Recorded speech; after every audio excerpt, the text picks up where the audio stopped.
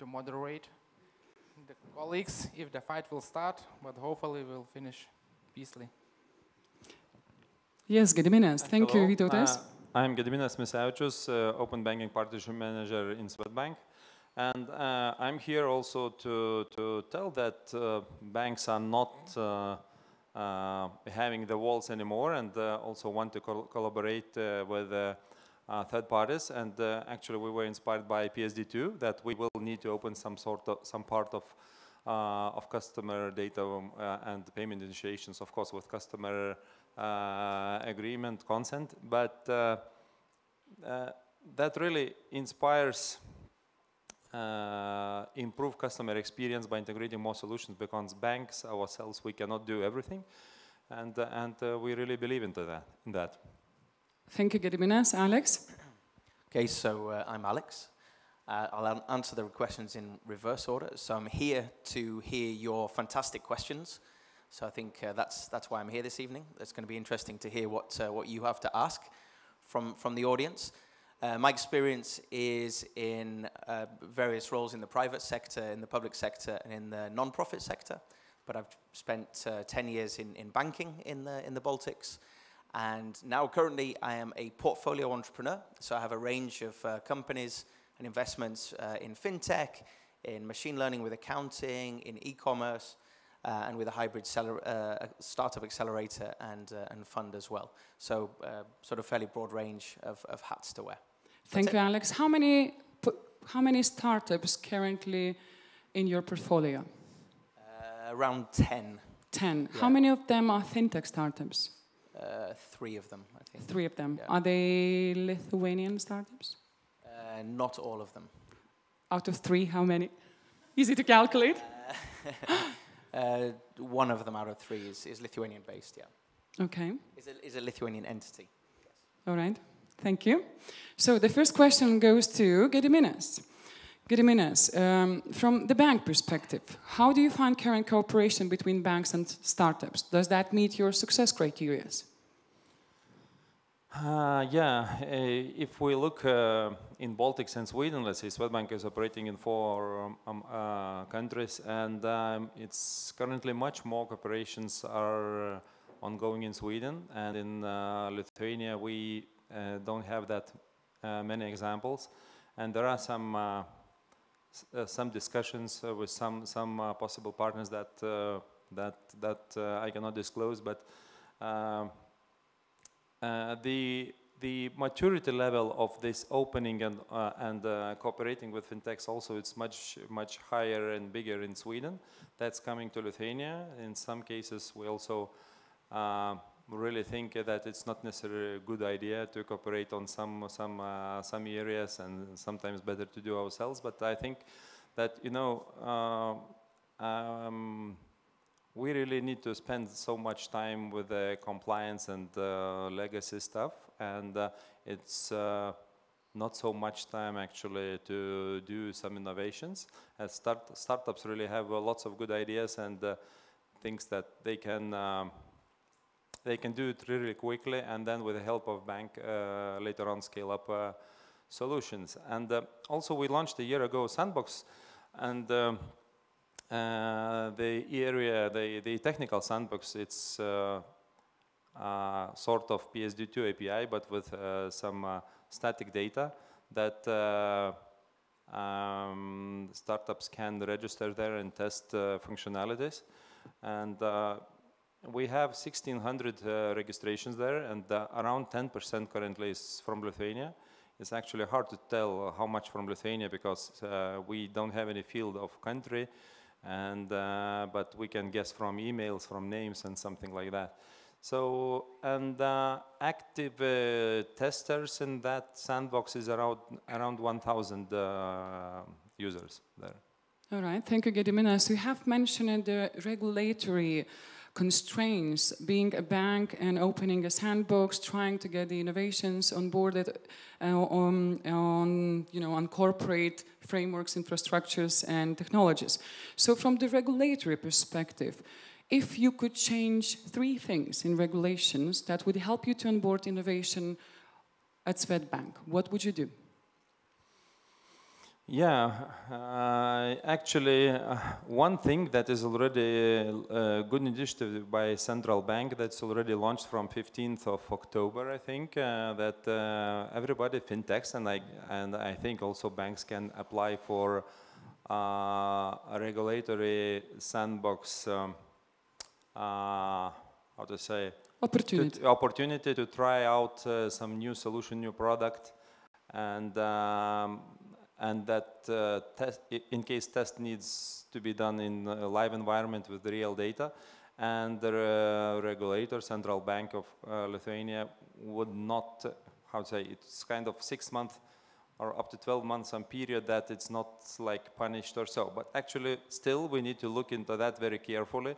Still, we need to be compliant. That's really important for us because we are risking much more than uh, startups are risking. So and uh, it would be good that attitude towards startup and uh, and bank to uh, to try out some new product would be same for both so for all market players so one of the things that Bank of Lithuania already doing is to open the regulatory sandbox for the fintech startups to actually rehearse the ambiguity of the regulation. So still, I'm coming back to the question, what would you change. Somebody is talking. Would you like to have a Skype call with us, all of us? Is that the question from the audience? Just let us know. That's okay to interrupt if you want. That's not a problem. If you have any questions, we were planning to have one hour panel discussion and 30 minutes for Q&A in the end. But just in case you have a question that is burning in your chest, let me know. All right? So back to the question. What would you change? If you would be the one, you have a magic stick, regulation, as a bank, you have to follow, I'm not going to disclose how many regulations fintech startup has to pass to be onboarded at Barclays, uh, but it's quite a long list, I would say. And all the boxes to be clicked, it takes time. So what would you change? What would you think would make sense to accelerate onboarding innovations at corporation? I know I'm asking difficult questions, but that's my job. Okay, yeah, that's really a difficult uh, question. Actually, uh, this like open banking by itself already uh, brings opportunities to innovate.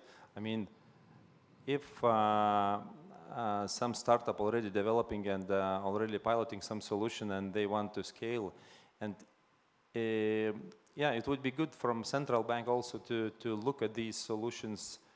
Um, uh, more softly. I mean, not so aggressive control, and uh, but still, I understand that also from uh, we also from the bank side uh, uh, have a little fear that some some startups could really violate also some AML and KYC stuff, and that could bring um, negative negative Impact. perception of a market in Lithuania, of, of financial market in Lithuania. So it can be some uh, side effects as well. Yes. So, so that we are afraid of as well. Thank you, Gediminas. I'm not going to ask more questions at this time. Vytautas, of course, we started talking about the regulations and the question for you. So from the regulatory perspective, launching the sandbox for the fintech startups, how many, I know that the deadline is 15 of October, was 15 of October. How many fintech startups have you already had registered for that? So as of today, we have already two. Two? Yeah, so just two. in one week. If so you could hold the microphone a little bit closer yeah. because in the back people might not so hear one you. One of them is from insurance. Okay. And the, the, the other one is like from, from payments or re related to that. So I think it's quite, quite, quite good from, from the start. Uh, I, I wouldn't say actually, yes, I agree that AML is, is a key risk for, for banks, but uh, I think we put the same requirements on everyone and I, I think we put a lot of efforts actually in consulting those new guys. So I think every week we have like two, three meetings with different ideas, different proposals, uh, whether this model will work, whether will can we do it this way. Sometimes even we make suggestions. Okay, you don't go that way. You, you should go the other way around, and that will be fine with us. and we put a lot of effort actually like changing and improving regulation constantly as as we have more and more electronic money institutions, payment institutions, and even new banks coming. So we get very good feedback actually what, what are the problems for them. And I think we are quite successful and quite quick in just making those changes. Okay, thank you, Vytautas. And, and for the record, that FCA, Financial Conduct Authority in UK, that's the, one of the strictest regulator in, in UK, uh, they have the feedback framework. So basically, they issue on the new regulation consultation paper, and then the um, market has a chance to provide feedback and then the second consultation, third, and then the final policy statement is out. So what is current feedback process or what, how is that happening between the startups and big banks in Lithuania and uh, central bank as a regulator? We have something similar, I would say, but maybe not to that extent as UK FCA because they're like, I don't know, 2,000, 3,000 people, whatever, we are 120. So we always consult the, the market, we always receive the feedback, and actually if there is a need, we have physical meetings and so on. We don't do that very much publicly, I would say, because if we do that publicly, so we generally don't receive like public comments or something, so we just, we send to the companies, to the associations, we receive feedback, so we, we do that. So there is a mechanism. Thank you so much. And just for the record, I just came back from Netherlands, and when we were we had a delegation on the startup ecosystem, one of the findings that Netherlands Uh, RVO agency, basically uh, the equivalent of Invest Lithuania, have shared feedback that Bank of Lithuania is very collaborative in Lithuania and very approachable, being as, as you have mentioned, 120 people for in such a difficult regulatory, now a lot of different things are happening in the regulatory space and new things are being developed like cryptocurrency and it, there are things that you do get some input from, from the market and you have onboarded that. That's what already the other countries are, are sharing with us. So thank you on that. Question to Alex. Alex, to you. So you worked um, in SEB Bank, so one role in one shoes. Then you are co-founder and already, as you mentioned, 10 different uh, startups. So another shoes of being co-founder in a startup. And the third role that you have, you are the partner of Catalysta Ventures. So it's kind of the first hybrid of accelerator and investment program, isn't it? Could you share your perspective from different angles where we are in Lithuania with, you know, Startup Alliance uh, with the banks. Sure. I think it's, uh, it's also interesting to reflect on uh, what, what you've just said about the perception of Lithuania more generally and how that's changed over the years. Um, I've been visiting Lithuania now for 20 years, over 20 years. And if I think back, sort of 20 years ago, people either didn't know where Lithuania was or they had a, maybe only not very positive stories about uh, maybe criminality in the UK or, or, other things that were happening. And then that changed with Lithuania joining the European Union. Then people started to know Lithuania. People started to, yeah, I know someone who's Lithuanian, or I've worked or met someone who's Lithuanian. Uh, and then, you know, 10 years later, or sorry, 10 years ago, I was still getting questions from people, you know, okay, so Lithuania, you still in Lithuania? Do people have mobile phones yet in Lithuania? Uh, so this was, you know, a little bit embarrassing that, you know, our, our reputation and image hadn't spread as far as I think we, we would have liked it to. And, and then for me, it was actually this summer, I was in London in June this year. And for the first time, I was sitting around a, a, a table, uh, actually in the old Bank of England uh, in, uh, in the center of London, and, uh, which is now a, a pub. and, and it was a group of people. one guy was from Australia working in a financial institution uh, guys in startups, uh, guys in, uh, who are investors or in, in, uh, in, again, financial institutions. And it was the first time that I heard everybody around the table say something positive about Lithuania. That Lithuania is known for fintech, Lithuania is good at this, Lithuania's got fast broadband. And this was a really, really positive uh, shift in perception. So for me, that you know, it took 20 years for that to come, but it's uh, it's fantastic that that's really started to happen. So I think to hear when you, you go to the Netherlands and you hear these kind of uh, perceptions, I know that uh, Invest Lithuania and the central bank was in London recently uh, and got very, very positive feedback from some, some pretty important uh, major players as well, that you know, Lithuania is now a serious player and, uh, and the perception has changed. So sorry, that was a slightly longer story uh, going, going around it, but then the question was more from my, my different hats that I'm wearing and, and, and how have I seen that. Um, what challenges do you see? Let's, let's specify the question. So challenges as an investor, challenges as a startup, and yeah. when you worked, as far as I read your title, new products uh, yeah. director uh, in SEB Bank. So yeah. as a new product director, you probably have been interested in some startups, products that they have developing, and Ilja can talk on that more. Yeah. So okay, so uh, I think simply in, the, in, in, in raising money for startups, there's still a significant gap in Lithuania of the sort of 500,000 to 2 million ticket size.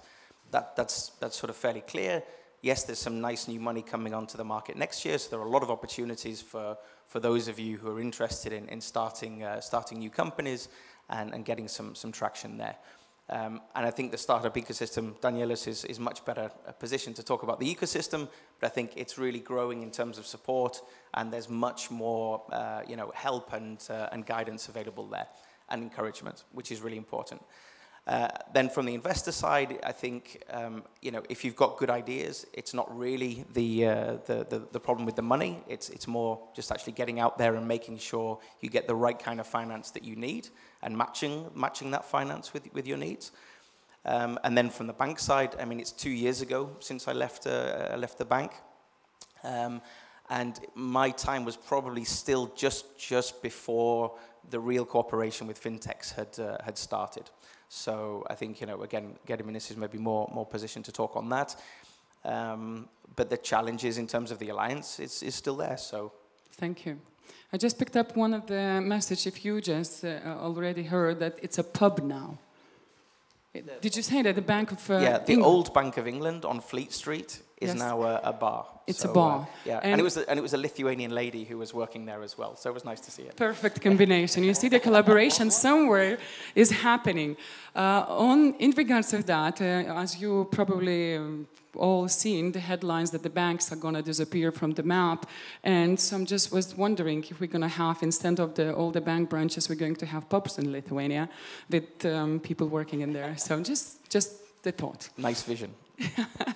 All right, thank you so much, Alex. Ilja, from, from your perspective, as a very challenging challenger journey, Ilja has approached 1,500 banks, 500 of them actively, and he will tell more story about that. So how is that going, collaboration with the banks? What is your product? So just to clarify, because Ilja is a RISE member in, in uh, our community, and of course we know about him, but if you could share just a little bit on your product that you're trying to collaborate with, with the banks. Um, actually, to be clear, maybe it's not like a collaborating, so we are not doing something together with the bank, but we are doing this uh, product for the bank and for the bank's clients. So uh, the Challenger, good name for, for, for, for challenging, uh, is um, client engagement platform which activates customers to do more, learn more about products, try them, understand, learn, and then and, and, uh, improves financial literacy and uh, loyalty and so on and so on. So it's pretty big, big stuff. So it's not like a kind of plugin, but it's a big platform which which is which should be installed. And thus we are. Um, by approaching uh, the banks, we, we need to work closely with them as decision making is uh, usually taken on uh, C levels. And um, our experience is very interesting, actually. So, as you mentioned, yeah, we, we approached over a thousand banks uh, from different angles. Um, many of them are actively, but when we are talking about deployment uh, and the way uh, we can uh, run it in the bank, the, we see that decision making is pretty pretty slow. So, but this is natural. So, uh, when, as I know, some of you are from the bank, so you probably know how, how the process works.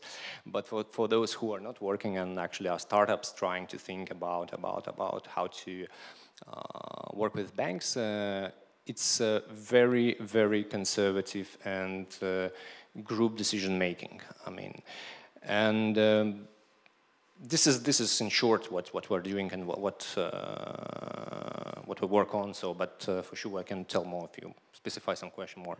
Okay, so the question is, you have spent some time. How long did you spend to find the 1,500 banks, then 500 to approach, and how many? What is your success ratio? Uh, it took three years. Okay. Uh, I mean, we started three years ago. Uh, right now, we probably have you know two or three or four, uh, depending on how we count it, uh, different clients okay. from the bank side. Um, so the ratio you can count it. So yes, pretty pretty pretty small. Pretty small. And your target is? Retail banks. Okay. And how many would you like to have? Uh, mm, well, product sales for the bank, like 10, 15, 150? Uh, I, believe it's open question, so you always want you know to have them all, but it's for sure it's not not possible. But uh, uh, when we started, we actually expected that it will be much faster and the rate would be uh, much uh, mean much higher. Uh, I, I, think I think uh, that uh, sometimes a question arises why we, we we were still working with such small ratio and so on, but this is mostly related to the results from the bank we get, and even with great results, we are connecting and contacting the banks, showing them results. I mean, other banks showing case studies and so on. Uh, but this uh, very interesting but this doesn't speed up the process Okay. So what is the most common justification when you get no from the bank? What do you mean? When you, well, you approach the banks, then they go for the decision, they come back and say, you know what, Ilja, no. So what is the most common nice corporate language uh, phrase yeah, that you the, get. The, the, the, language is always very, very great. So yeah, that's uh, that's also an advice for, for other startups. So when you get a great, uh, great, great response, that cool, that's that's that's uh, that's what that's what we're we're looking for for 10 years, and let's do that. Uh, let's go. Uh, this doesn't actually means anything. So this guy's disappearing um, at some moment.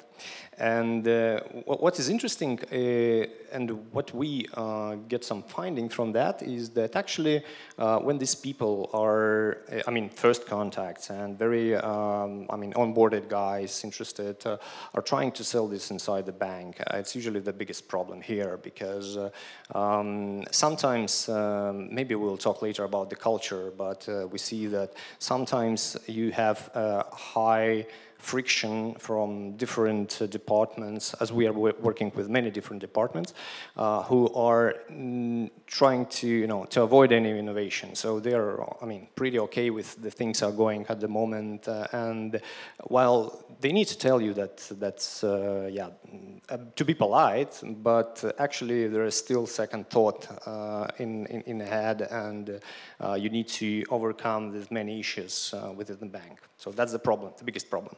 Thank you so much. Um, just a comment on the English language, and when somebody says that this is a great idea, you shouldn't be thinking positive about that. Alex, could you comment, as a native speaking English, what are the common phrases used for the startups to understand that they actually eh, failed? N number, number one is definitely, it's very interesting. if it's very interesting, walk away and save your time. Very, very simple. Um, we had some English courses, and I remember somebody said from, from the teachers that if you get on the call, great idea. So I got some colleagues coming back, wow, you know, that's a great success, we already did it. And then nothing is happening. And actually, then I am, as a manager, getting a feedback, well, you know what? Don't even put in front of the investors these people because they really failed. I'm like, but you said the great idea. Yeah, but it's just the wording. And, and I think another one like that is, uh, you know, you approach, you approach a company and they say, yeah, really nice idea, not for us right now. We'll come back to you when, when we're ready to go to the next step. So then I think the natural reaction is you're sitting there waiting for them to call. That call is never going to come. So uh, yeah, again, save your time. So uh, another just just a tip, tip for the audience and startups. Uh, what phrase would give you a you know, indication that there might be a possibility and opportunity to work with these people? I, can't, I can't think of, a, of a, the right answer for that Okay. one, but that's one of the things I love about working in Lithuania is that everyone's very direct. So if they like it, they'll say they like it, and if they don't, they'll say no, I'm not interested. So is that okay in British culture to ask when you're going to do your job? You can you can ask the question, sure. And the result might be not what I'm expecting to get an answer. I'm Yeah. probably going to get ex- Might be- escalation that I'm rude. or block this email, never never enter my inbox again. That sounds more more realistic. Okay, got it. I just go, my mail, go, mail goes to junk right automatically. Thank you. Danielius, you have been, uh, actually, you're a co-founder, but not only from the startup perspective, you are the person that actually educating. You have created the platform on education and, well, growing the, changing the mindset. You have been consulting over 300 different startups. From your experience, could you share your insights?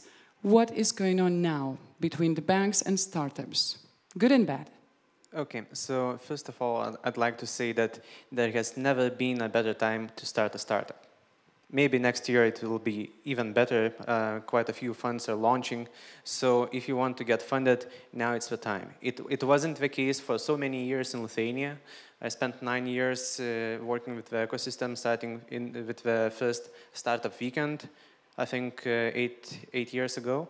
And since those days, uh, what I have witnessed is that those founders, those people that participated in those hackathons, most of them, or 80% of them, actually work in startups that they have co-founded or uh, joined. I think with Ilja we met there eight years ago.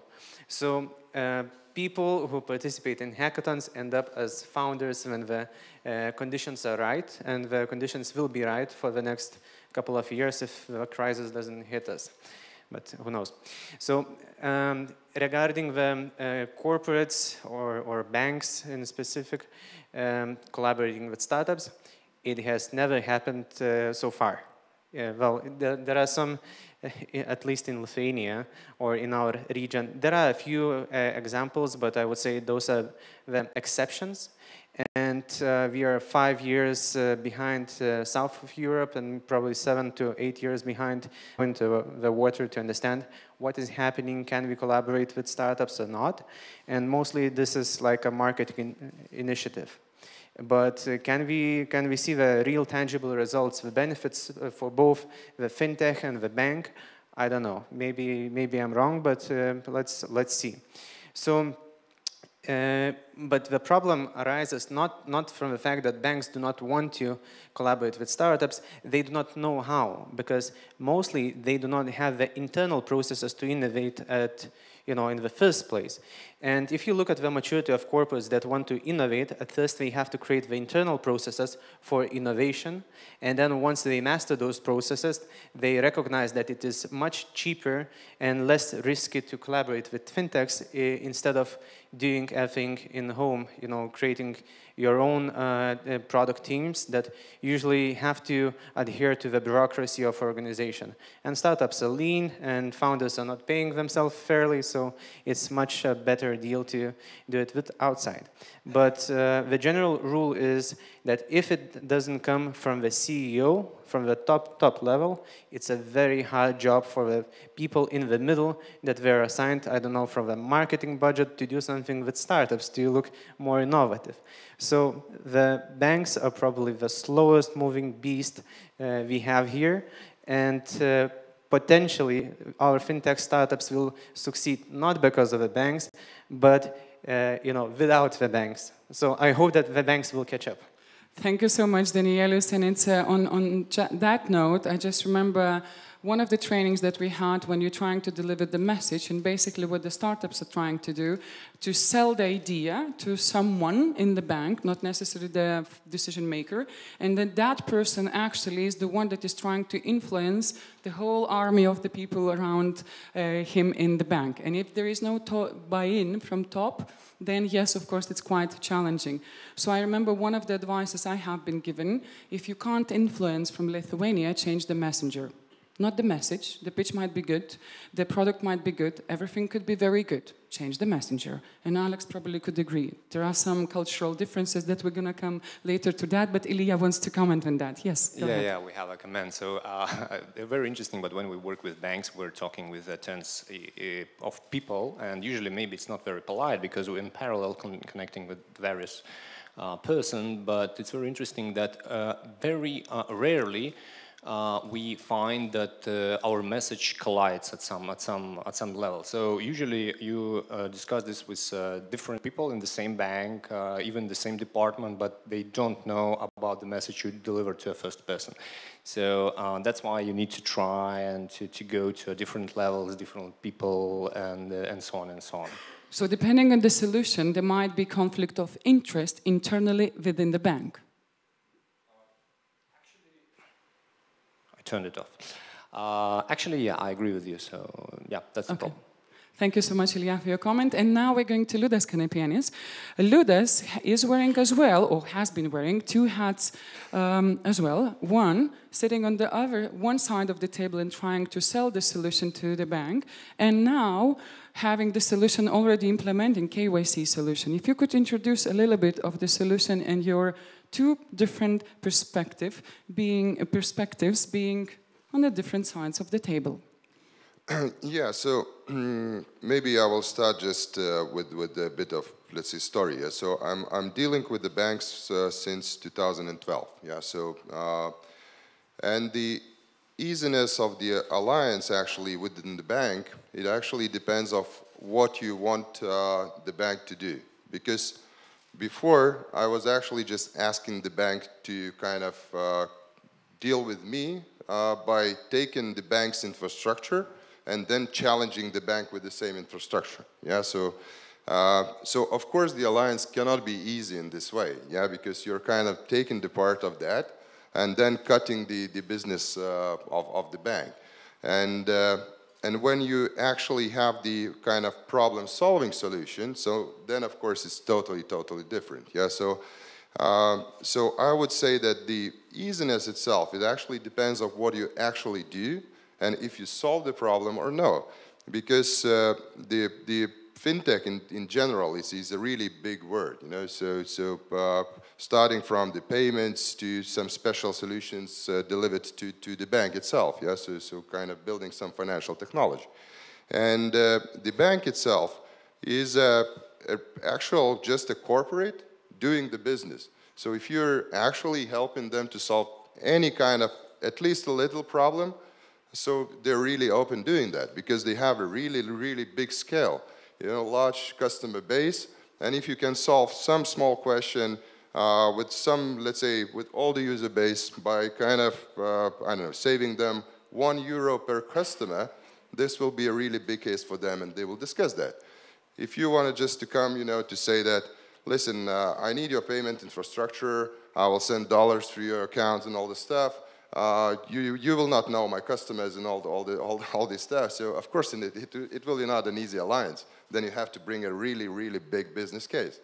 So, so that's, that's how I see that. So basically, if I may just to summarize, in what I understand, and please correct me if you understand the same, so depending on the solution that as a startup I have, there are different interest points within the bank. So if I want to sell something beneficial for the bank that enhances the customer experience or within the bank processes, that's much easier because it's only low-hanging fruits. It's already visible, the benefit. But you are selling something where the head of innovations, Gediminas, is sitting on the branch and cutting the branch he's sitting on because he has to fire 50 people because the automated solution is actually conflicting with the, you know, conflict of interest, isn't it, within the bank? So, Alex, I can see that you're raising your hand to comment on that. Yeah, I just wanted Thank to... you, Liudas. I just wanted to compliment uh, what Liudas was saying there as well. And I remember in the last few years hearing startups coming to the bank and pitching ideas, but completely misunderstanding, excuse me, completely misunderstanding what that pain point is for the bank. And I think it's very easy for us to sit outside the banks and say, hey, this must be painful for the banks. I can solve it with my, my solution. But the reality is, when people were going and talking to, to us in the bank at that time, uh, it was very, very, it, I mean, they just, there was a complete mismatch. So, so the kind of takeaway for the audience here is, you know, really try and do your homework and understand what are these pains that the bank is having, you know, not just what the clients of the banks are having. So, uh, and then I, you know, definitely agree with your point about not cutting off the branch that, uh, that the bank is sitting on. So basically, it's like the startup is giving the medicine for the patient, but you have to identify which part of the body is in pain. So if you're giving a headache painkillers for the someone responsible for the legs, not going to work. Is that correct, the analogy that I have used? Thank you, and Gediminas yeah, would like Yeah, this. yeah, that's totally correct. Actually, it's everywhere in business. If you even a seller of whatever, you really need to understand what is the pain on the customer side. And then uh, really it will work really well. But if you just uh, sell some imaginary good for you, but maybe not that good for the bank, and if bank have some more choices to choose from, let's say one has really uh, good business case, another one is kind of maybe it's not competing, but it's also no uh, added value for the customer, then it's um, of course bank will prioritize the one that has much better uh, impact to the customer and also uh, impact also for income. And uh, about the slow decisions in the banks and uh, totally agree that uh, decisions could be faster. I would like to have them faster myself and also see really lots of different interests, interests in the banks based on the areas they are working in and uh, and you know the more people are uh, the the harder to get uh, consensus and uh, and and one one decision. But let's say um, that we did with IT development and product development actually. Recently we had a, a big reorganization that we moving uh, to agile but not only like IT works agile way but also uh, uh, uh business product areas all together in same teams. So uh, IT development is not kind of IT, pure IT anymore. It's uh, agile teams working all together business side with the product owners with the business analysts and so on. So it's part of one team. No blame game that you haven't done this or that and so on. And they are focusing on the area that they are working in. So that's example in what is ongoing in IT and it's already faster to develop something. But about decision making and uh, whether regarding partnerships and collaborations, new products, it's uh, it just uh, starting now and uh, and uh, we really need to develop some faster process and shortcuts inside the organization to, to, to make it faster. Because for startups, you know, decision even a month, it's, it's really a very long uh, time sometimes because they, okay, they, they don't want to wait, they want go next and maybe someone else will, will, will agree and um, some other bank maybe will agree. Thank you, Gediminas. And Liudas, do you want to comment now? Yeah, I wanted to comment a bit before, but uh, I will complement with that as well because uh, for, for a startup to wait a month, it means that you burn uh, actually the monthly, you know, uh, uh, yeah, you're, you're low in the budget already by a month, yeah. Um, but uh, what was said before actually, and the Alex point was really good. So, and, and now it's a really good time to start the fintech startup with all the infrastructure that is actually going on, yeah, because uh, with all these innovation centers and everything within the banks now, you're actually able to come to the bank and to ask what are the actual painful points. And, and basically that's the, just a straightforward process how doing that, with, with, with not thinking, you know, just in your company or something, or uh, sharing with each other with friends, but you can actually come to the bank and to ask what, what are your painting points. Yeah, what are your challenges? And yeah. then the Innovation Hub would uh, create a pipeline of the fintech startups to solve the challenges. Danielius, you had a comment. I, have seen you raising yeah, your hand. Um, I'd like to challenge the assumption that you know the bank has to be the, ultimately to be the client. So then the innovation department is more or less the procurement department. So you know somebody has said that you know you're you're chopping your leg off for 50 people, but maybe it's faster to run with prosthetics you know, and that's, that's why you have to have the head thinking of what is happening and actually co-creating innovation together with startups. But not, you, you don't have to necessarily think that the bank is the ultimate client. That's one way. But uh, I really hope that the banks look at fintechs as, uh, you know, magic pills. You don't know what will happen, but uh, try taking some. Thank you, Danielius. And this is a great moment to go to the culture. We don't do anything in our life what we don't want to do. Simple as that. So if I don't want to cut, I don't cut. If I don't want a prosthetics, I don't want a prosthetics. If I don't want to, I just want to be a procurement innovation office. Well, innovation, a buzzword, but still just procurement. If I am afraid to change something in the company, if I'm afraid to be unpopular, or if I'm losing a little bit of the budget and my role is a little bit diminishing, and I am in the big political game, then maybe I don't want to do this. I just like the money that I get for that role. So, culture. What role culture is playing in alliances between the startups and corporations and banks? Yes, we do this. Is it on? Yeah, it's on. I think one of the reasons actually I left the same bank as Alex, as Alex did, so I left that six years ago, seven years already. Alex two years ago was actually that Scandinavians are very slow, indeed very slow, and they don't take a decision actually until they have consensus on all levels, and that that sucks. Thank you for being that honest. Was, that, that was the main actual reason. I don't know whether that changed. Maybe Alex can talk about that because he left the bank just recently. But when I left, actually, so it, it was impossible to implement even some innovation inside the bank yourself. So, and I think the problem is not about timing or something. I think the, the other problem is that decisions are taken not here. They're taken in Stockholm, Copenhagen, Helsinki, and I can't imagine then somebody from Helsinki would allow somebody here in Vilnius to do something that they haven't tried themselves there. So it's that that's the problem, I guess. So there is a cultural thing of understanding the different cultures, accepting the innovation, being the adaptive, flexible, and sometimes maybe challenge your own attitude and perception, isn't it? So I see, uh, Ilja, you, you already got. Yeah, actually, you, you, you said what, what I wanted to compliment. That uh, actually, if we talk about Lithuania, uh, most of our banks are Scandinavian or, I mean, Nordic banks, and uh, headquarters are actually not here.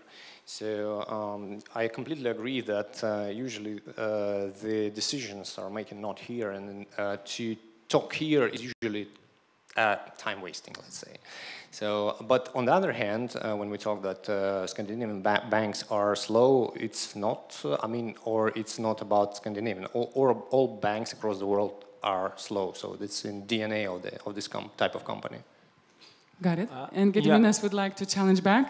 yeah, yeah. Actually, I don't want to agree that decisions uh, are made uh, like in some headquarters necessarily, and we have examples that we have solution uh, in Baltics, but there is no uh, such solution in Sweden, and there are many examples of that, and also the ones that with the partnerships with the third parties as well. For example, AirPlay Books, our accounting system in uh, internet bank for SMEs, is. Is was first developed in in Baltics and and and launched uh, last year, and uh, just later on some alternative solution was was also uh, done in Sweden, and. Um, and also we have different infrastructures actually. Maybe the bank is one, but actually uh, uh, historically uh, Swedbank some 10 years ago bought Hansa Bank and uh, our IT systems are quite different. In Baltics, it's pretty similar. It's nearly nearly the same, but in Sweden, it's uh, very different. And uh, that's why, if we want to cooperate and do some uh, integration, uh, then uh, it, it's worth considering uh, separately Sweden and separately Baltic countries. So it's not necessarily all in group wide.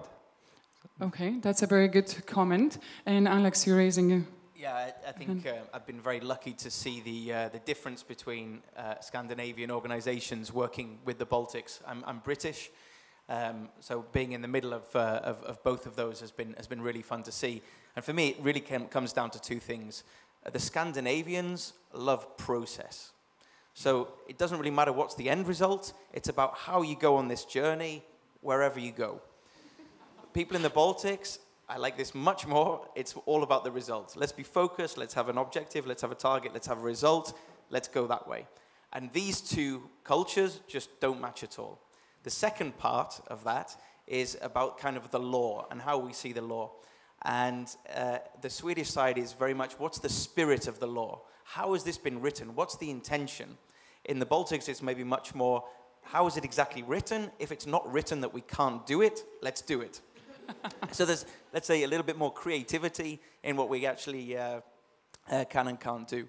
But those are two pretty fundamental gaps between Scandinavian culture and Lithuanian and uh, the other Baltic states culture as well. Thank you, Alex, on that comment. And uh, as I was joking to some foreigners when we travel around the globe and, and sometimes we talk to them, I said, you know, Lithuanian DNA has itself you know, that flexibility and creativity. Why? We've been occupied by Russians, Germans, Polish, you name it, the country that haven't passed by Lithuania. And if they blink, they might miss us. So we were loud and, you know, very determined if, if we look from the DNA perspective of Lithuanian culture. So back to the culture. Danielius, from your experience on looking 300 startups, it's quite a huge number, and your experience of consulting them, from the startup perspective, what cultural differences do you see comparing Lithuanian startups globally, if you had any experience on that? Yeah, I spent some time in Silicon Valley with uh, Berkeley Skydeck accelerators, so I saw startups there. Um, I think that uh, Lithuanian startups are great at execution, but not necessarily at planning. I think that uh, the time horizon that they're looking into is pretty short, what we should do the next uh, week or two or three months or six months, instead of uh, looking into how the picture will play out in five years if we do everything right. Of course, you know, it's like agile versus, uh, you know, strategic planning. But um, I, I think that uh, Lithuanians want to do everything by their own hands, and therefore they can only imagine what they can achieve on their own. They do not expect any help from anyone, so they will suffer through and hopefully achieve the results. While in, in the rest of Europe or, or in Silicon Valley, it's more you know, openness and trust and going out for help and advice so I, I, I think there's a need for uh, you know, mixing the cultures a bit, but it will not happen unless we have more foreigners here or our startups go and work elsewhere. And one last point I want to add is that we still don't have major startup success story. You know, it's all in progress. Uh, you know, even the biggest startups that we have today, you know, they haven't done the exit. You know, the, the, there are no, you know, 60 um, you know, new startups arising from one, one success story like in Estonia. So, and the point is that once you get the startup at that scale, then you have a lot of people who know how to build a startup, you, you, who know what process should be done and what stage of development, and then they can go and assemble a new team that would have a full knowledge. Now we are learning on our own, and this is the slowest possible way to do it, uh, but Lithuanians are tough. Yeah, we are. And actually, on the opening event of the FinTech Week on Monday, we had a panel discussion where only the men were. And the ambassador of Netherlands was in the audience and she asked a question why there is no women in, in, in diversity. And the question was in regards of diversity. So, yes, uh, as the culture, we don't ask for help. And uh, back to Gediminas uh, on sandbox uh, that you have open, I just read in the article that you had 50% of Swedish and only 10 to 12% of Lithuanians, which means again, do we have opportunities? Bank of Lithuania is quite open for the feedback. Investors are here, interested in staying and living in Lithuania. Um, startups a great opportunity to create your startup and start developing and, and scaling it, but do we use all opportunities? So, Liudas, you would like to comment? Yeah, because uh, just to extend this conversation, so uh, from the cultural side, what I would see is that the Lithuanians are actually lack of confidence. So uh, the investors will not like that, but you can see that on the on the valuations they, they bring.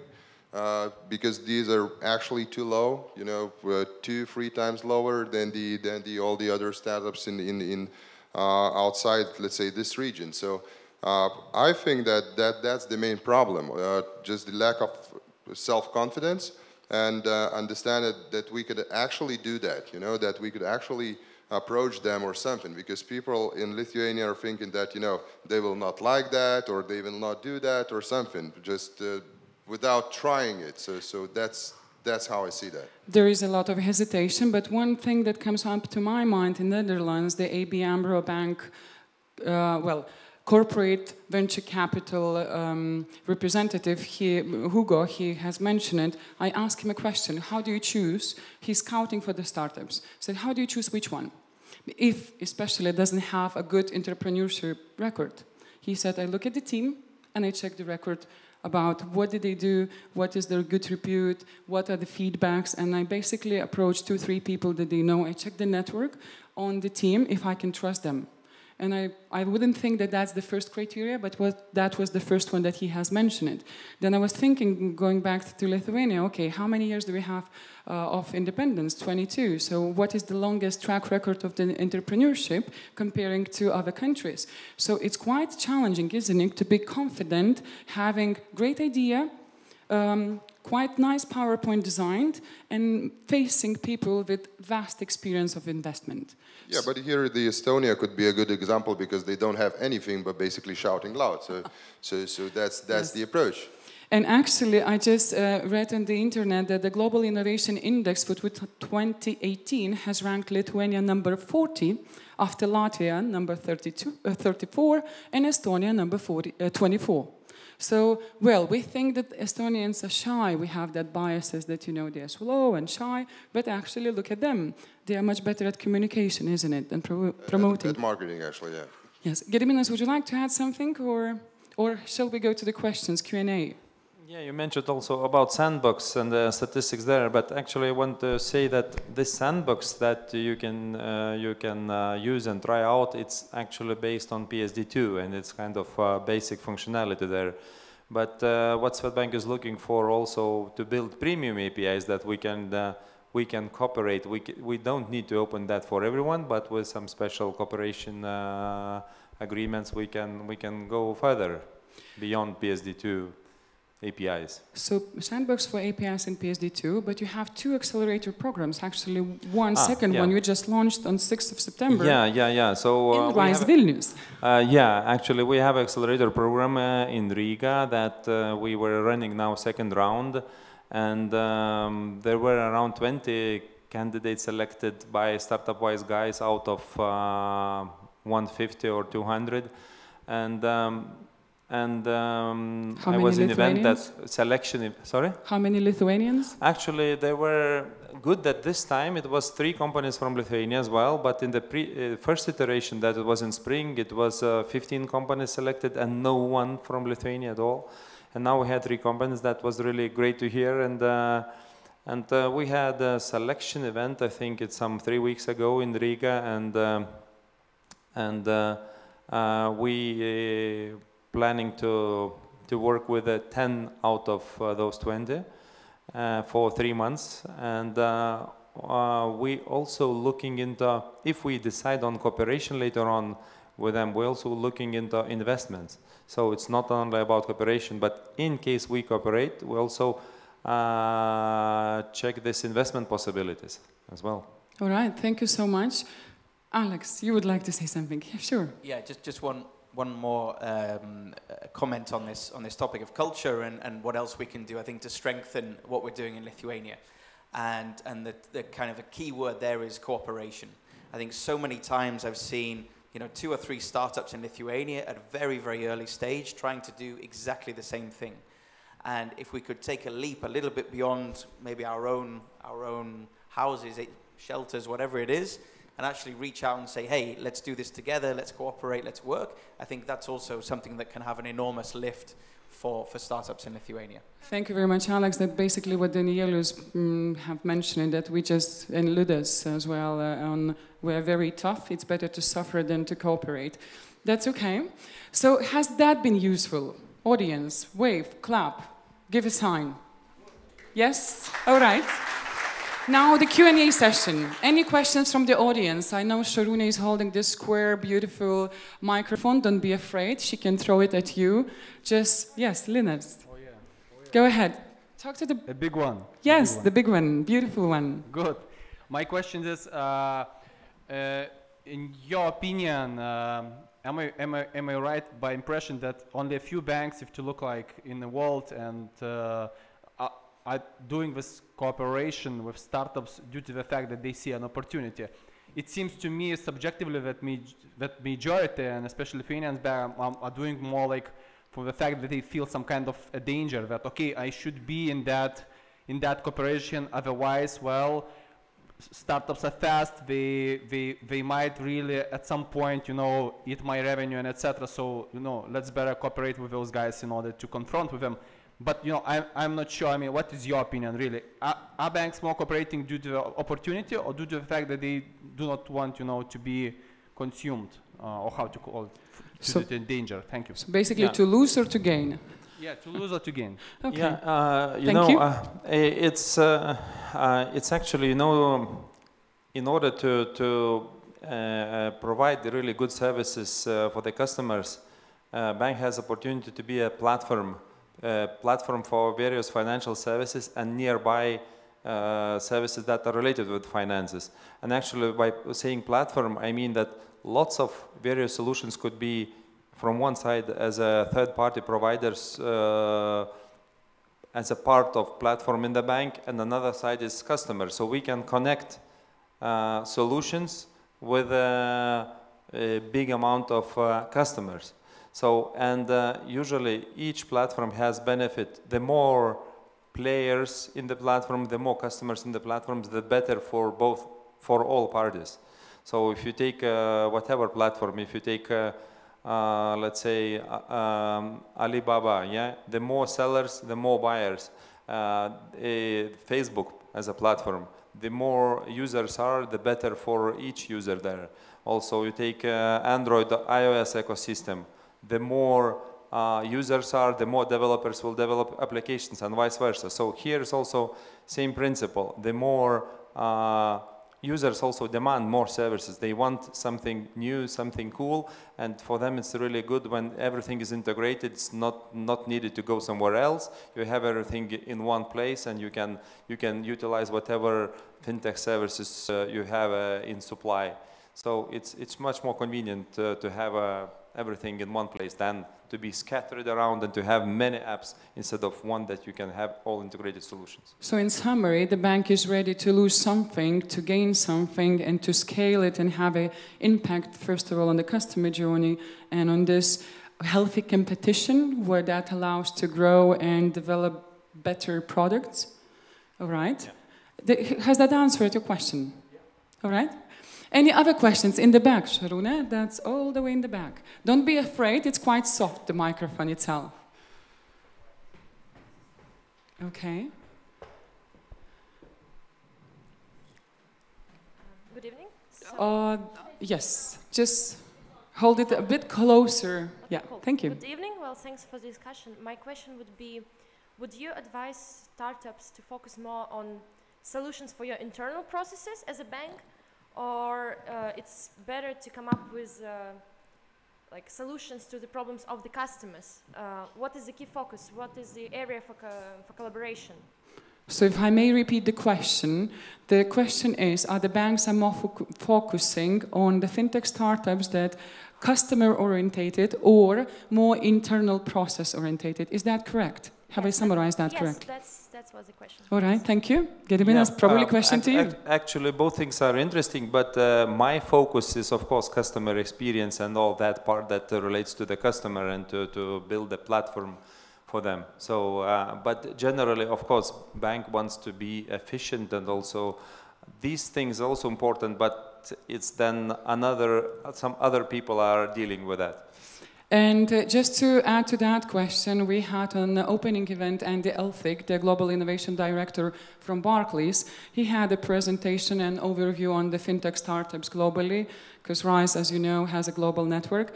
And one of the things he has mentioned it, or that was my takeaway, that most of the fintech startups, they are talking or more focused on technology itself than the benefit for the end user or customer in this case. So what his um, advice was, always talk, and the microphones are feeding, and always think what is the end user gaining out of your technology.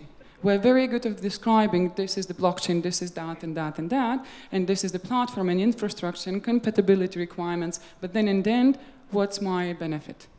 What is the benefit? So as we always, and yeah, your experience of talking to the banks, yes. Yeah, uh, a bit from my experience. Uh, actually, I agree with Gediminas about that, that both are interesting, but uh, you need to understand uh, um, that when you are uh, fixing some needs in the bank, it's, it is much easier to sell within the bank uh, rather than customer experience because customer experience is very hard to evaluate, to allocate budget for that and uh, calculate, calculate ROI. Uh, while in internal needs, when you cut some costs, it's very easy. So that's it. Yeah, if you do, you build cost and benefit analysis, is of course it's each much easier, much easier, as Ilja has mentioned it. Any other questions from the audience? And Alex, you would like you, you wanted to comment on something? No. Uh, not a comment on that, but uh, I have one final question for the audience. So oh, not, not yet final. Not, if you, not, if not, that's okay, yet. don't go anywhere yet. Okay. Uh, any other questions? Yes, Shoruna, if I may ask your help. I know you're in two roles today, so thank you so much. And um, for uh, Camille yeah, and Sharon I have a question today. for Gediminas. You talked about the differences between core systems in uh, Sweden and the Baltics. So first question would be, is your sandbox uh, restricted to Lithuania only, or is it uh, also open to other Baltic organizations? So if you have success in Lithuania, will the same solution in integration would apply to Latvia and Estonia? systems? Yeah, actually, very good question. And the sandbox solution is like uh, group wide. It's the same for all countries. And actually, we, as far as we know, we are the only one of the banks in the market that is going to go with one API for all four markets. So it will be the same. Like if we pilot for one country, then totally same API will be for other countries. Okay, infrastructure behind connecting Sweden and Baltics is different, and we want to hide that complexity from startups, and we want to to to to to have them uh, to to help them with integration to have it much more convenient. So one API for all four markets. And I know that you have some startups from New Zealand as well applying for your sandbox API. Yeah, it was also from New Zealand, Australia, so it's really sometimes exotic. And uh, I heard also from from Monday, I heard a discussion that uh, there are some startups coming also from uh, opposite side of the world. Uh, world. So so that's really interesting that they did their homework and they are coming uh, to to enter EU market through Lithuania. have you Just on, on, on that note, we had uh, Korean uh, delegation and Japanese delegation, and uh, us, uh, well, we have Brexit, but Lithuania uh, started calling us the Singapore to Europe because we become quite an attractive point as gateway to Europe for different uh, markets. And Korean delegation, Japanese, they said we would like to have a collaboration with the fintechs in Lithuania, which was really interesting, not only to invest, but to have as I'm saying, two layers. One is the pipeline on the fintechs, another one is the pipeline of investors, and then the common ground to meet somewhere. Any other questions from the audience? Yes, go ahead. Uh, I, am running uh, just uh, innovation, retail innovation conference yearly, and it's quite interesting to see how evolving uh, problems, uh, which was, let's say, last year, and what would be, let's say, next year. When my question would be, could you name the main pains for banks, what it's necessary to solve, and what could be solved cre cre creatively by startups, for example, for from today perspective? Okay, so if I may rephrase, because in the back you couldn't hear the question, isn't it? You couldn't. Okay, if I may summarize. So the question was that um, the problems are evolving and changing throughout the years, if I understood correctly. And the question is to the bank what are the business challenges, five pain points that business has now that startups could help to solve yeah. you? Yeah, actually, I will not answer those five points now because I'm meeting with different people inside the organization, and different department has really different pains and different things, and and and and. Uh, and even after collecting all these, we need to really gather and prioritize what is most important on overall level because, you know, again, lots of interests. So each each uh, departments, uh, each department you know, it's most important for themselves, and and and um, uh, we we will run this on quite a high level to to prioritize uh, what is demand for us, and then we'll see the market what is supply, and we will see where demand and supply matches. It could be that something that we need non-existent in the market. It could be that so many things exist in the market that we don't actually need. It's not our priority. So maybe uh, we will start with a demand and supply match points. Probably to make an impact assessment of the things that the bank is not aware that they are in the market might be quite challenging for the bank itself. So that's another opportunity to start asking and collaborating, okay, what it is, and matching the how you're going to do the benefit analysis if, if we don't know what it is as uh, Steve Jobs said, we're not going to do the market research because the customers not, don't know yet what they want. I'm going to create a product that they're going to line up over the night to get it. And that's what happened. Yeah, that's right. I totally agree with you. It could be that uh, some company pop up that we haven't uh, heard about before, and then if we see really it's great idea, it could be re-prioritized, of course. It's so, but preliminary, if we before going to hunt for for startups that that we could uh, do some integrations, we need to really clarify ourselves what do we really need, what are the most painful areas, uh, and on the uh, whole company perspective. Thank you so much. And to answer the question about the pain points from Barclays' perspective, we do have them, and it's uh, there is no no secret about that. That we have a lot of data and the data becomes legacy and becomes cost instead of creating value out of it. So one of them that pops up to my mind at the moment, but we do have a list of it, of course. Okay, any other questions? Thank you for the questions. Any other? Yes, go ahead. Uh, hi. Um, I don't know this event will be about uh, serv uh, services which we can offer to bank. I thought it's in general about startups and banks because there are a lot of topics uh, like uh, mm, banks mm, work so hard to uh, to make sure that startups don't don't do mistakes, but they miss uh, uh, like money laundering in uh, who, which is done by large companies, but yet we are so strict and even uh, propose to use sandboxes for uh, uh, startups. I think, and also uh, bank regulations in general. I mean, some banks are very flexible in the same in U European Union, and some are very strict. And it's like uh, I see the most unpredictable thing is when uh, you run a startup and one day it might close your account, especially if you work with like uh, blockchain technology, right? Uh, uh, is there anything, any progress in that area? I mean, uh, will it be, will you, what, what's, what I see, what is needed is like some more publicity about what's, what's okay to do, what's not okay. Uh, because sandbox, uh, I mean, I don't, I don't think it's to solve this uh, in general. So do I, do I understand correctly, and I'm going to rephrase if I made a question for the people in the back. So basically there are things happening uh, and the banks, they have challenges, but it's not yet clear what are the challenges and how do they want us as a startups to tackle them?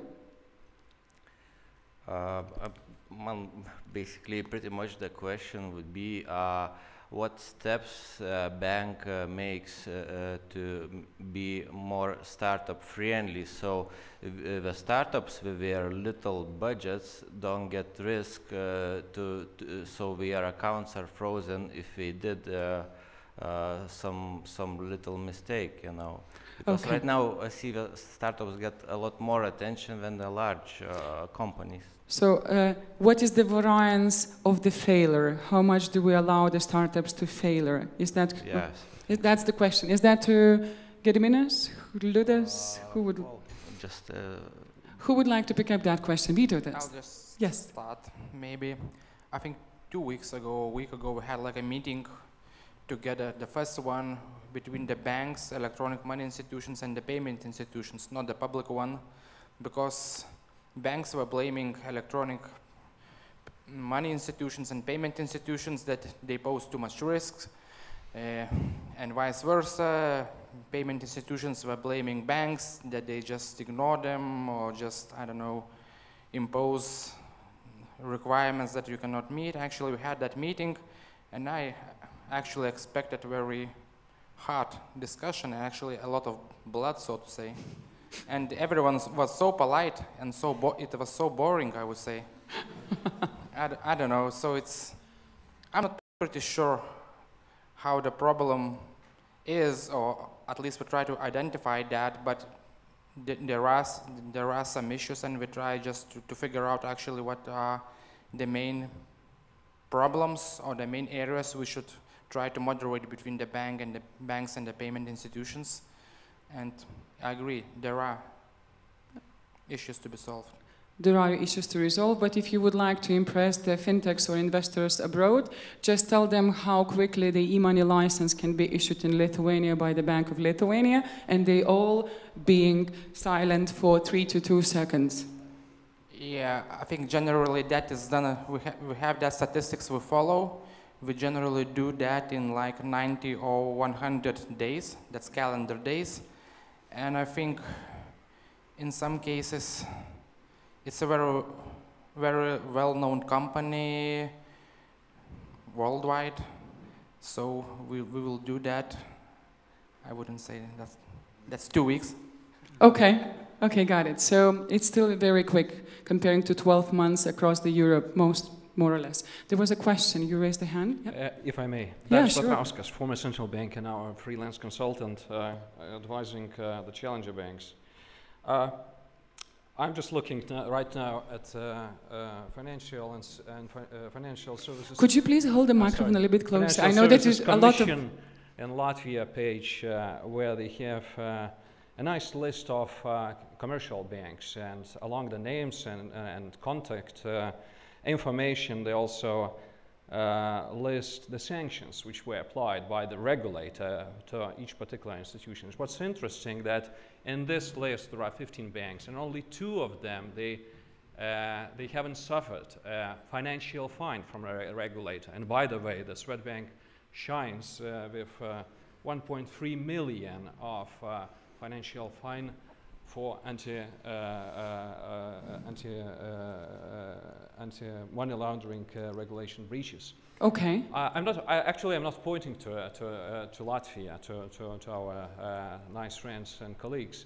Uh, I think that situation is pretty, mu- pretty much the same across the globe, and uh, actually, we'll we'll find uh, uh, very similar examples in even in our own market. So my question is. Uh, why is it so? Is it uh, the, the, the banking is sort of uh, most criminal, uh, criminalized uh, professional community, or is something wrong with regulation? Is it something what we are probably uh, overdid over the, over the past uh, year? At, most important, past years. Most importantly, what can we do to solve this? Because I presume that.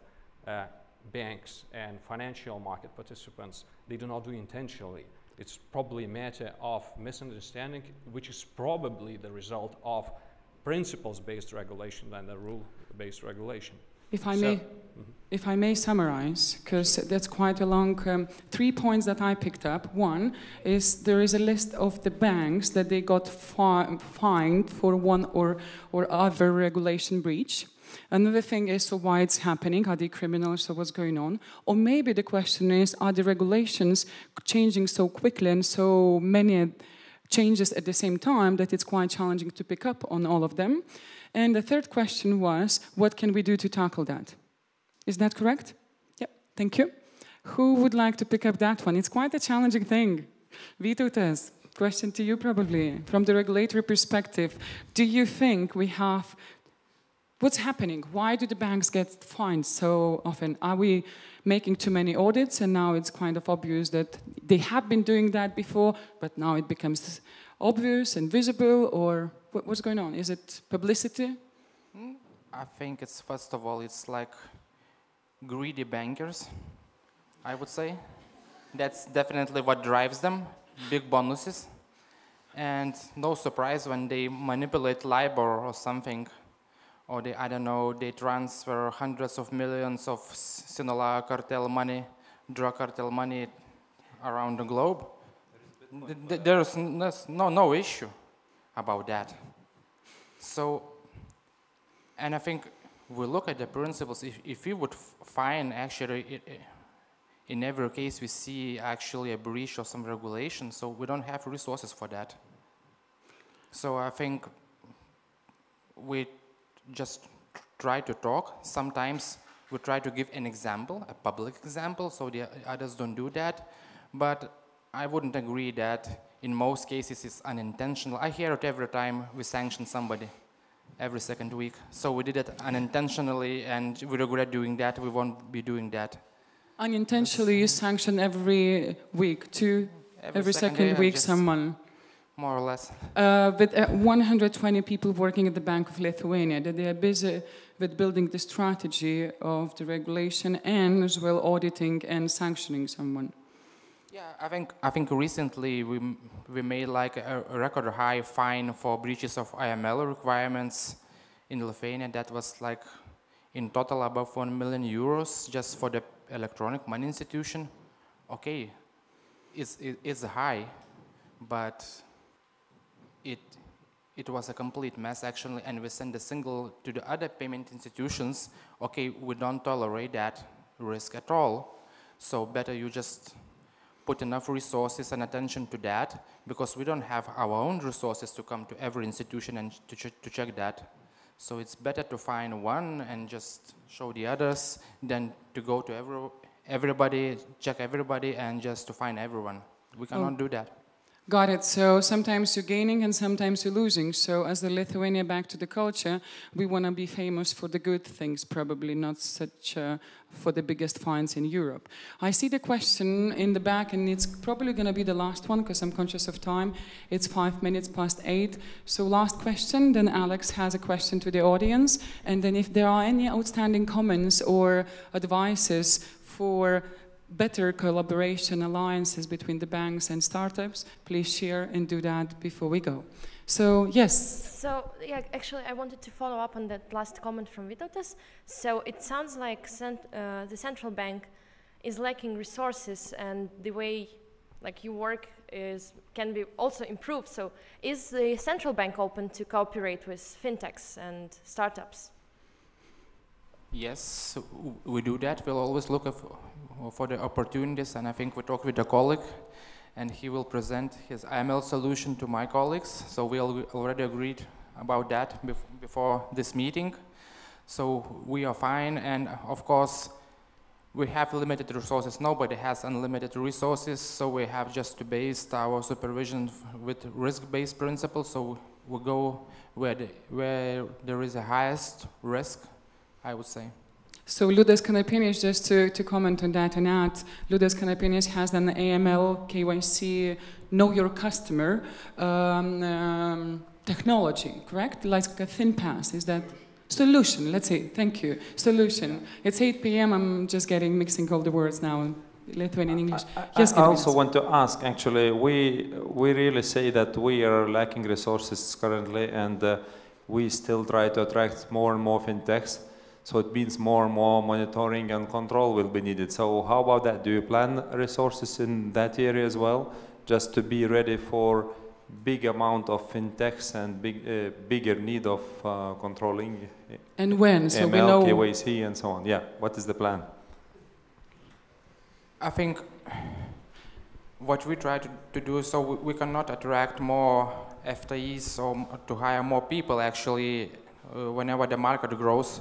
So what we try to do, so we try to look at RegTech, so-called regulation, te- regulation technologies, buying new solutions for analyzing data, better collecting the data.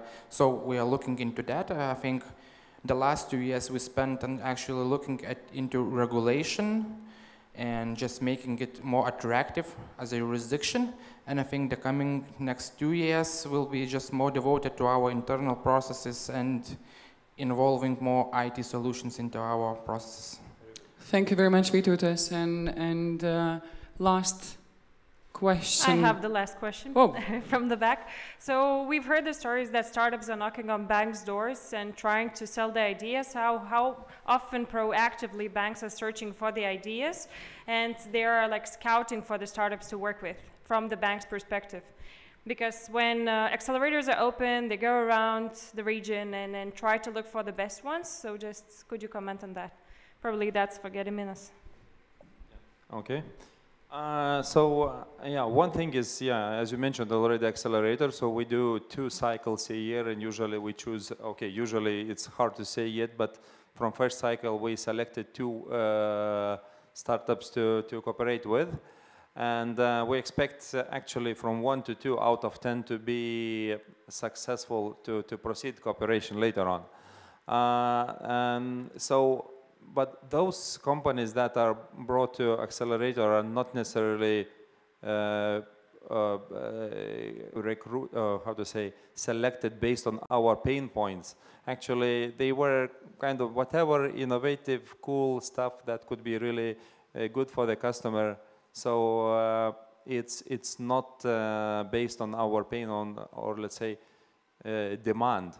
Uh, but uh, on the, uh, regarding demand, we are, as I previously mentioned, now really trying to set priorities in between various departments and what would be priority for the bank.